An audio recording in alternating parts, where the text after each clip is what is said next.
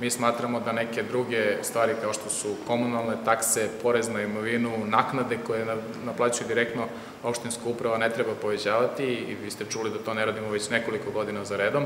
Porez na imovinu, na primjer, nismo povećavali tri godine za redom. Manje je od e, stope koju predviđa Republika Srbija, 0,4 mi uzimamo stopu 0,3, što sad možda direktno za ljudi nije važno, ali ako to pretočite u novac od komunalnih taksa u 2013. godini da ćemo prihodati manje ukupno 13 miliona dinara i bit će još tu nekih ušteda. Dakle, na teret budžeta rasterećujemo fizička i pravna lica.